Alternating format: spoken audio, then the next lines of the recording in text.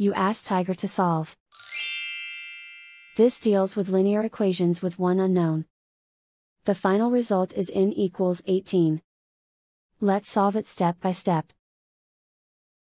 Group all constants on the right side of the equation. Add 5 to both sides. Simplify the arithmetic.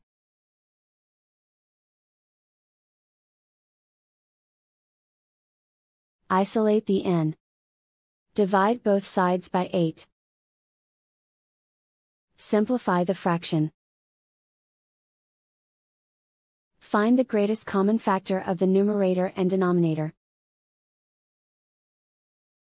Factor out and cancel the greatest common factor. And so the final result is n equals 18.